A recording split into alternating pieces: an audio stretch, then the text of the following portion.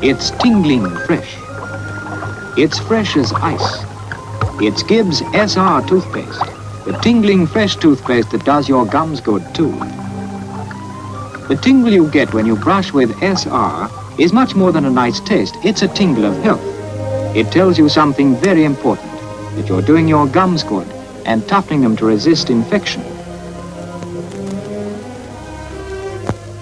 And as this chart shows, gum infection is the cause of more tooth losses than decay itself.